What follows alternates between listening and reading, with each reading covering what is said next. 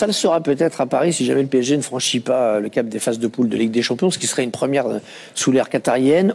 On n'en est pas encore là. Paris aura son instinct en main le 13 décembre à Dortmund. Mais tout cela s'est joué à quelques centimètres et à quelques petites minutes. Benjamin Falanga avec Christophe Estagno. Évoquons et peut-être euh, évacuons une dernière fois le débat sur la main qui a rendu furieux, vous nous le confirmez, vos compatriotes, Tom, hein tu le payes et scandalisé. scandalisé. Et il y a des gens qui en, en parlent dans la rue, ils vomissent tellement ils sont dégoûtés par ça. on est désolé pour vous, hein, on est désolé, mais bon, en même temps, c'est vrai que sur le plan euh, européen, Paris a plus souvent été victime de décisions qu'avantagées euh, dans le passé. Mais bon, pour qu'on comprenne, Gauthier, l'UFA a acté que M. Marcignac, qui est quand même l'arbitre de la dernière finale de la Coupe du Monde, avait fait une erreur en accordant ce penalty, mais c'est toujours aussi peu clair. Ah, le problème, c'est qu'il y a une euh, situation finalement de zone grise mardi soir au, Parc des Princes et qu'il y a clairement un manque euh, de clarté. Il n'y a pas si longtemps, en 2020-2021, il était écrit dans les lois du jeu éditées par l'IFAB, l'instance de la FIFA qui détermine les lois, qu'il n'y a pas faute si le ballon touche le bras ou la main d'un joueur directement depuis sa tête, son tronc ou sa jambe. Exactement le cas de mardi. Sauf que cette ligne, elle a disparu des lois du jeu à l'été 2021. La loi sur les mains a été considérablement raccourcie. À gauche, vous voyez celle en 2020-2021, à droite, celle actuellement. Mais il y a quelques mois, en avril dernier, le Conseil du football de l'UEFA, composé d'anciens grands joueurs, a émis quelques recommandations pour cette saison, notamment qu'aucune faute de main ne devrait être sifflée contre une joueuse ou un joueur si le ballon a été préalablement dévié par une partie de son corps autre que le bras ou la main, en particulier si le ballon ne prend pas la direction du but exactement deux directives inverses. Le cas de mardi, il y a des problèmes entre euh, directives et règlement. Deux consignes différentes et deux décisions totalement opposées en l'espace de 24 heures. Voilà, c'est l'histoire du foot au XXIe siècle. En tout cas, Paris jouera son avenir sur la pelouse de Dortmund qui est déjà qualifiée. Si Paris l'emporte, Paris non seulement sera qualifié, mais sera premier du groupe.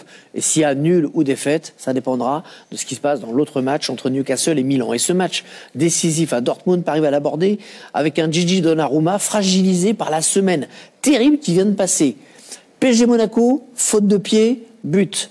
PSG Newcastle, on l'a vu, faute de main, but. PSG Le Havre cet après-midi, sorti en dehors de la surface de réparation mal maîtrisée, carton rouge. C'est chaud pour lui. Est-ce qu'il va pouvoir se remettre? Son prochain match, du coup, ce sera à Dortmund, parce qu'il va être suspendu la semaine prochaine.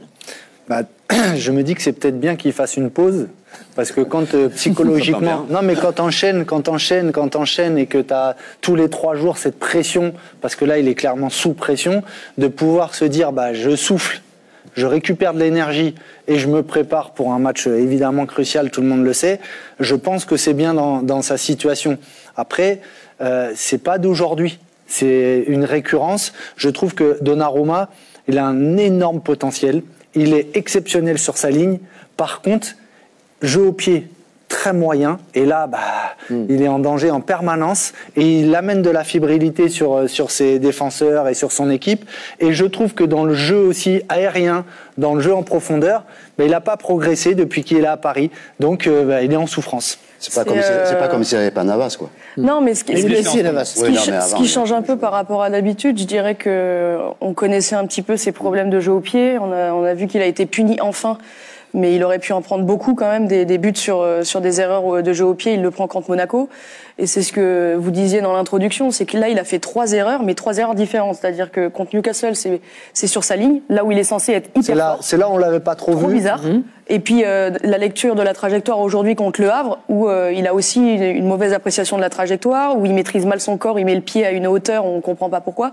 Donc ça fait quand même trois facteurs différents. Donc là, tu te dis, il est fautif sur trois trucs. de... Louis il peut, peut pas, être mauvais partout, quoi. Il y a quand même un souci à Navas, c'est pour Marquinhos et, son, axe central. Quand tu joues avec, euh, pardon, avec Donnarumma, c'est que tu, tu peux pas jouer, tu peux pas jouer très haut, quoi. Tu peux pas. Tu sais ce qui va lui rajouter du stress, c'est que celui qui est rentré aujourd'hui était très bon. Alors Luis Enrique défend toujours Donnarumma et il l'a défendu même sur le rouge aujourd'hui.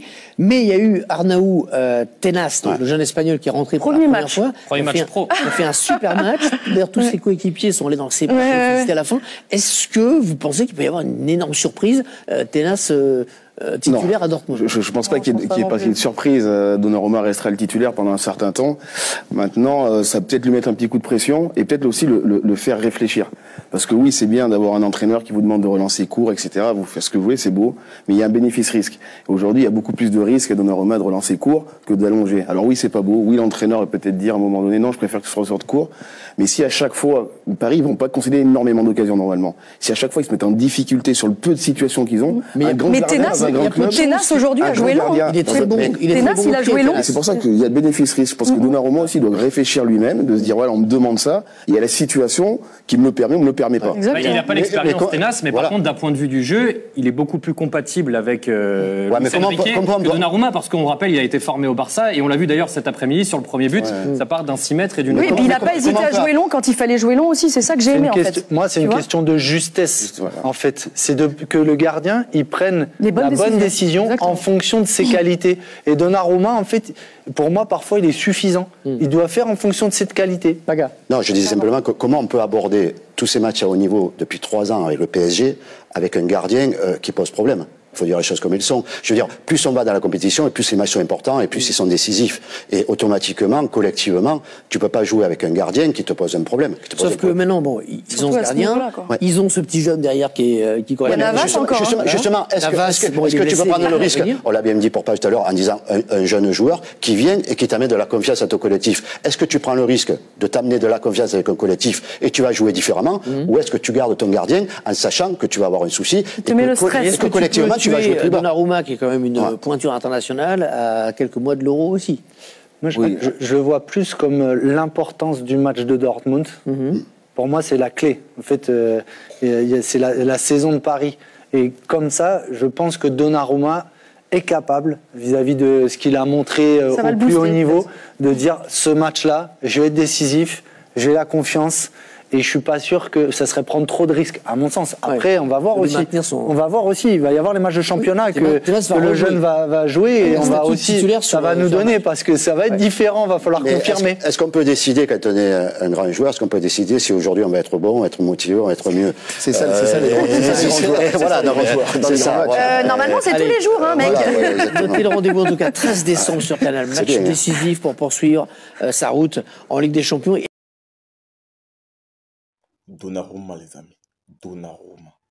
Est-ce que c'est possible pour le PSG de remporter la Ligue des Champions avec un Donnarumma dans les buts? Est-ce que le PSG n'a pas fait une erreur de casting en recrutant Donnarumma? Salut à toi et bienvenue dans cette vidéo. Dans cette vidéo, on va parler du PSG, on va parler de Donnarumma. Mais avant de commencer, si tu me découvres à travers cette vidéo, Ici, nous, on parle de foot. Ici, nous, on pas passionné par le foot. Donc, si tu es intéressé par la thématique, si la thématique te parle, n'hésite pas de t'abonner, d'activer la cloche de notification pour ne rien manquer des prochaines vidéos. Si c'est fait, on est parti. Alors, les amis, alors, les amis, Donnarumma, on va en parler parce que ça commence déjà à en faire beaucoup. Donnarumma commence déjà à accumuler boulette sous boulette, boulette sous boulette. Et du coup, d'où la question, est-ce que le PSG, est-ce que ce PSG-ci Surtout, est-ce que le PSG de Luis Enrique peut remporter la LDC avec un Donnarumma dans les buts?